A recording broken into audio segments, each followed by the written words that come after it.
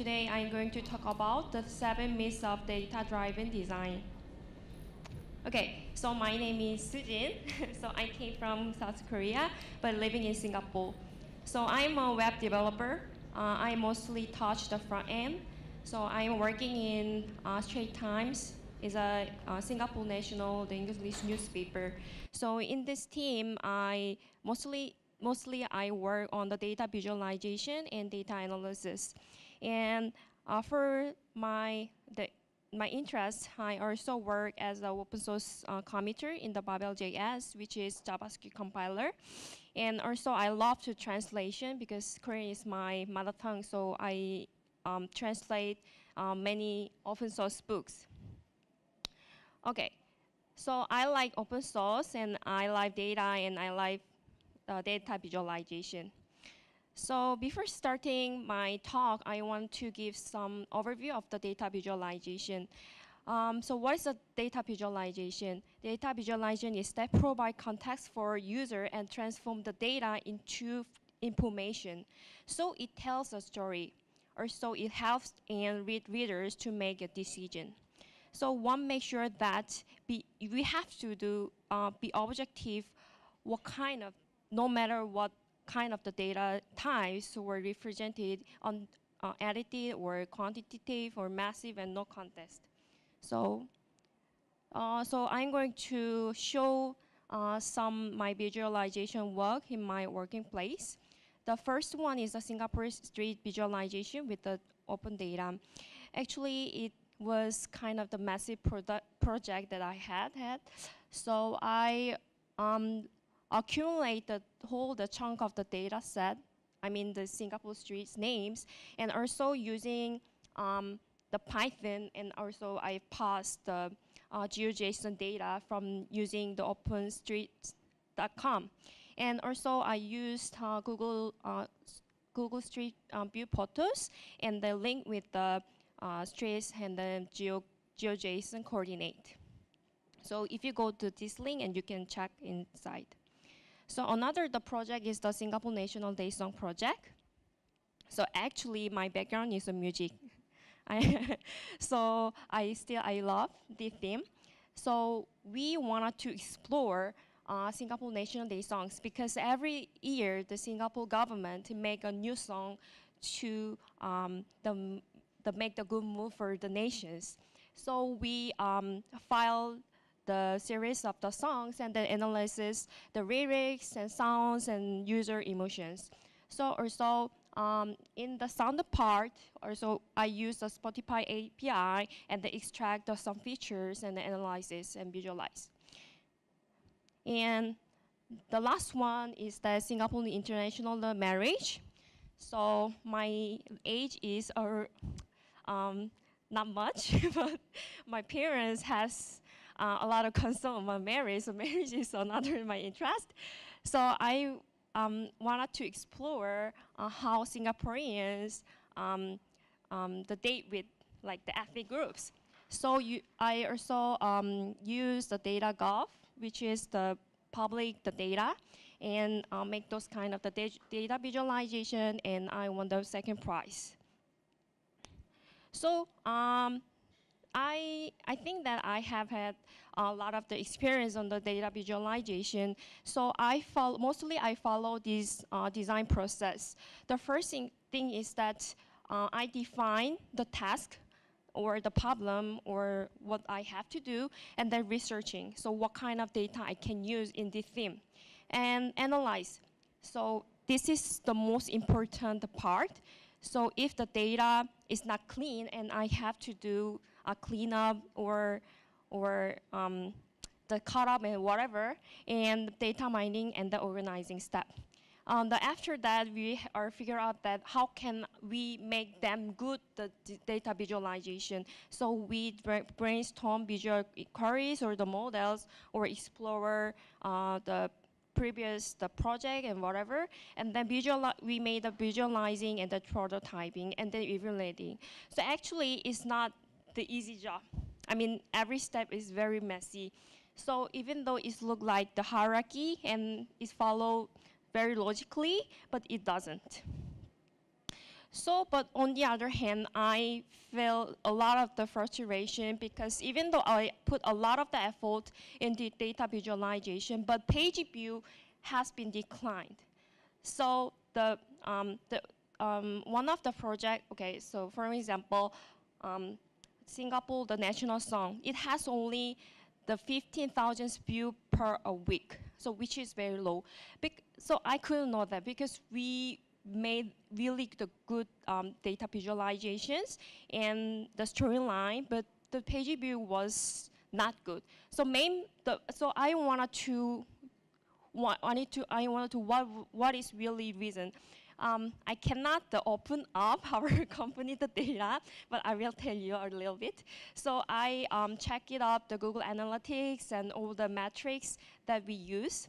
So I found that because um, like the Singapore, um, the national thing is, um, it might be only the understandable for the nations, but the uh, global, the audiences, they don't know what is the meaning. So that was the one problem. And uh, based on our statistics, um, most of the page view, um, uh, they only spend the time uh, less than 10 seconds, it, which means that after 10 seconds, no one read the, all the um, the graphics or the text inside there. So, we, so it means that we have to catch the audience's eyes. And we don't let the audience uh, readers to go out to somewhere. So we are really try to uh, keep our audiences on the first from the bottom. So for example, um, this project is uh, um, school bus fees, uh, which explore the all uh, schools in, in Singapore and how much um, they pay, the, pay for uh, school bus fees. So actually, there are so many tags until the bottom, but we cut off. And um, we put uh, the main graphic into the first page. So that's why we cut off, there is no text inside here, we put the last.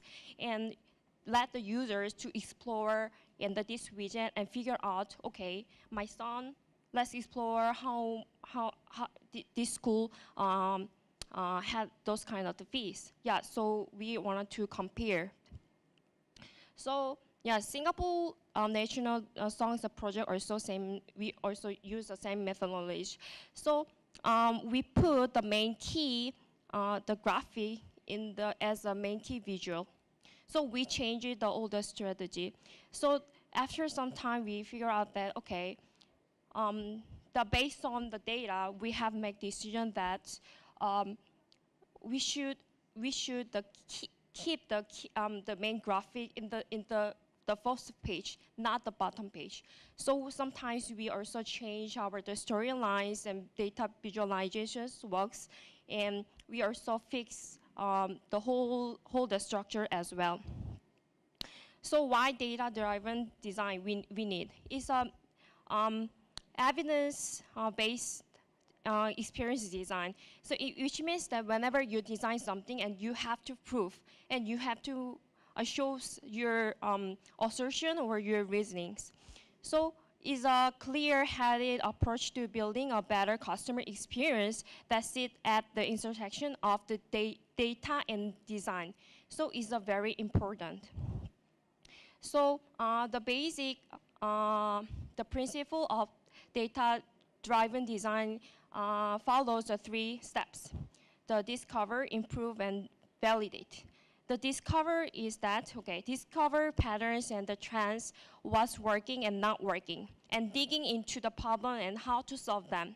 And second one is that, okay, improve. Improve on existing approach or the idea, iterate on the different versions or uh, experiment with incremental change over the time. So you have to improve and improve based on your feedback. And the second stage is the validate, uh, validate. So validate a change and new direction or decision and confirm the issues and prove unsuccessful or successful approaches. So, but on the other hand, okay, so let's do, when I suggest that, okay, let's to make decision based on the data and let's improve our design. Yeah, based only the based on design. But what I have uh, feel that everyone have different thinking about the data and data-driven design. So, so I also li felt a little bit uh, frustrated because there is only very little agreement. So I, I found that this one article. So uh, based on the, this article, I, um, I wanted to share the, uh, the seven myths of the data-driven design. The first myth is that data is not my responsibility. So I wonder how many uh, data-related people are here sitting here. Okay, only few. so I'm working in newsroom, but sometimes journalists complain that I cannot read the data. So it's a very, how can I say, it's a very um, problematic I, and I also, it's a kind of very uh, challengeable because um, if the contents is look like the more scientific and everyone is afraid of uh, looking inside the data. But actually it was, is it not true, but it makes uh, the people not uh, deep inside to the data. So um, so sometimes, not, not everyone, but sometimes they complain that I want to just uh, stick on the story, not the data part. So you have to analyze this at the first and then deliver the result but it's not true. So no matter what you have, I mean, your lore, you, know, you have to look the data together.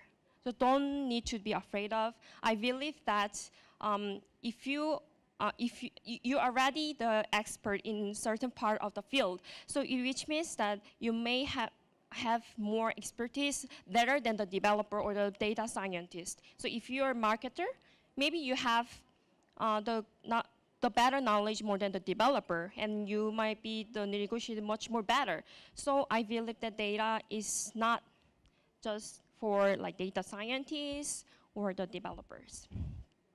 The second myth is that data is just a number. Actually, which is true, a bit true, but it's not really because they, sometimes data can be zero or undefined or null, or it not be the zero or one, two, three, four, those kind of things.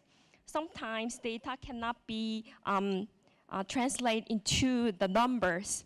So actually, uh, the data can be sort um, categorized into the two types, uh, quantitative and qualitative. So uh, if you are UX researchers, maybe you know that the qual qualitative, right? So some data set has a number, and then it shows that who, what, when, where. But on the other end, the some data it doesn't have.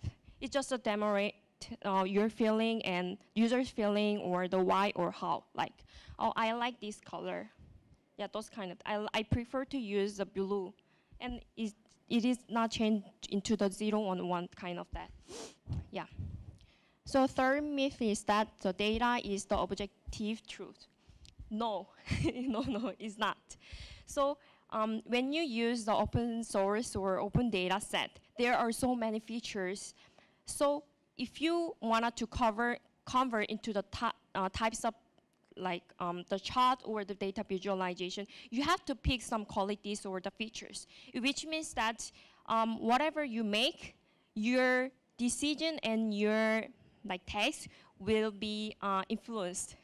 So this is not true. So, so for example, I published the, um, the one data uh, visualization project, Singapore uh, plastic the problem.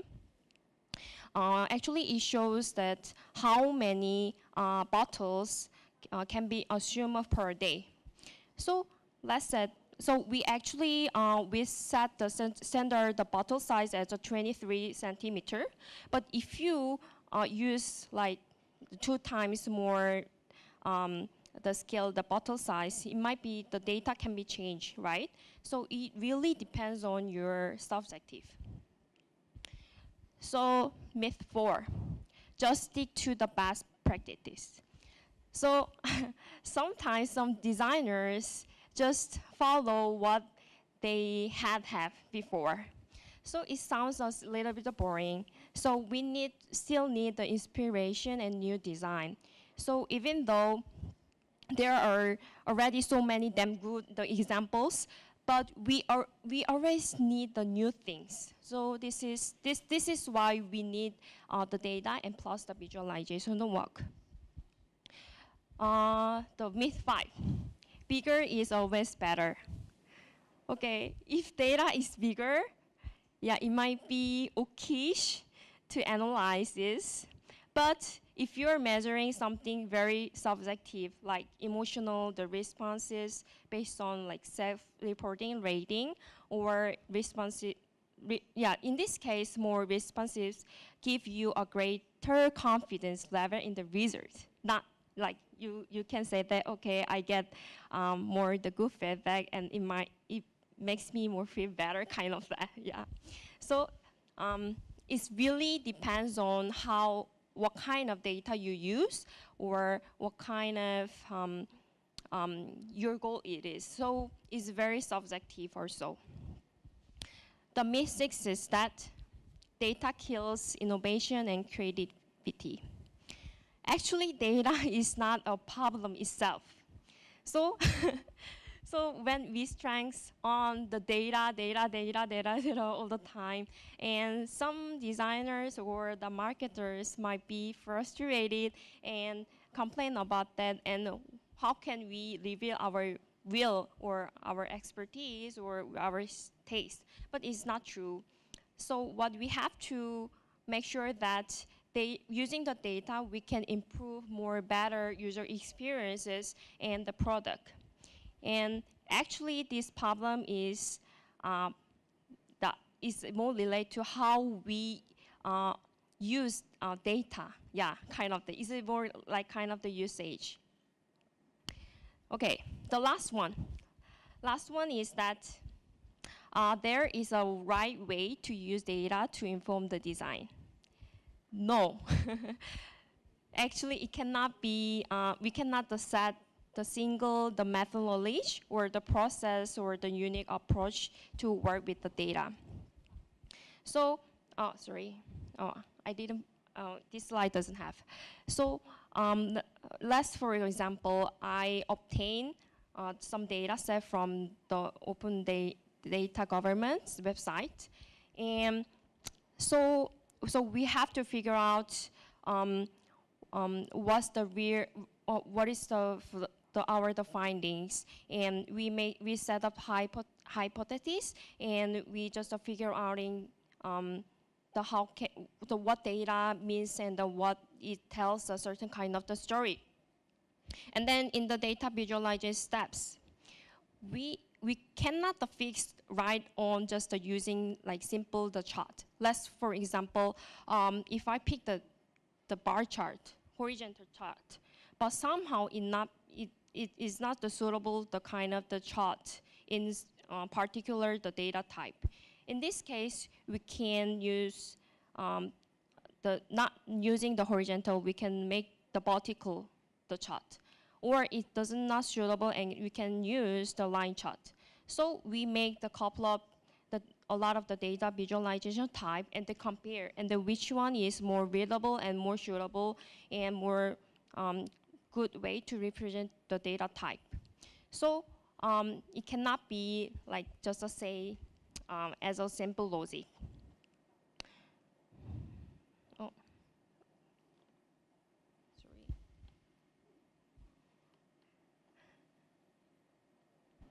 Okay, so uh, from the starting to the end, we explore uh, the seven myths. So let's sum up. Okay, first thing, data is not my responsibility, which is not true. Everyone should take responsibilities. The second two is data is just a number. No, it can be anything. Okay, it can be a word or your explanations, and even the data can be the zero or null or undefined.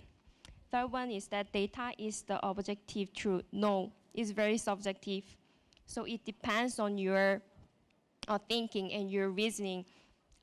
Okay. Four, just stick to the best practices. It make you boring. Okay, we need the savvy and damn good and new type of the data visualization or like the product all the time. Five, bigger is always better. No, it depends on how, what kind of data you obtain or use. Sometimes, even though it's very um, small the data, but however, it might be more valuable. Six, okay, data kills innovation and creativity. No, it doesn't kill your creativity. You have to use the data to make better the product and the user experiences. So last one, there is a right way to use the data uh, to inform the design, which is no. So you have to explore the various type of the charts and then compare and then evaluate and then find, out, find out that which data, um, which de uh, design is more better and more um, um, more better to um, the, for the user experiences. Okay, so uh, so this is uh, advice for data-driven design. Um, so, so I will explain a little bit. So use the, the first thing is that use the data from a variety of the source to inform your design. Yeah, this is very important. And include the numbers and provide the context in your design. Okay, third one, use the data track changes over the time, explore new patterns, and dig deeper on your problem.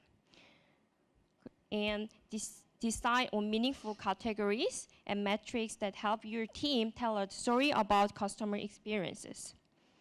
And um, develop a way to share and discuss data in your organization and start by defining the basics together with your team and your pe uh, peers.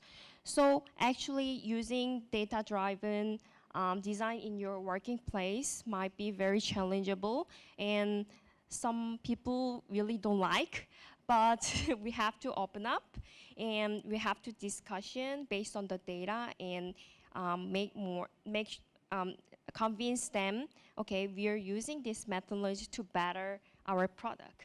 I believe that um, using this methodology and the advice might be um, you happier to uh, see when you design the product and, and the pro prototype. Okay. Um, do you have any questions?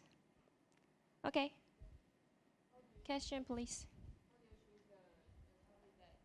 How do you choose the topic that you want, uh, let your company uh, let your company do the uh, data, data visualization mm. uh, topics. How do you choose the topic? Uh, for example, like the marriage or like the bus. Um, how do you choose the topic that will make audience feel interesting? Okay. Um, in terms of the topics, um, there are actually two types. The first thing is that immediate topic is something like, uh, um, uh, like uh, for now, the election is uh, elections. Um, GE will be coming up, so it's a kind of the urgent and uh, seasoned topic, like kind of the Olympic, and we have to do rush into the, project. And on the other hand, the economic or like lifestyle, those kind of topics can is not the seasonal, right? So whenever we can publish. So those kind of uh, the pro projects and um, it really depends on our our like will, kind of that. So for example, the music topic, I really love the music, so I suggest the topic. So it convert into the product project actually, yeah. 好，还有谢谢，Thank you，石金，还有其他问题吗？Okay. 好。So if you have any question, and feel free to uh, come to me, and let's keep in touch. Thank you so much. Okay, thank you for for sharing. Thank you.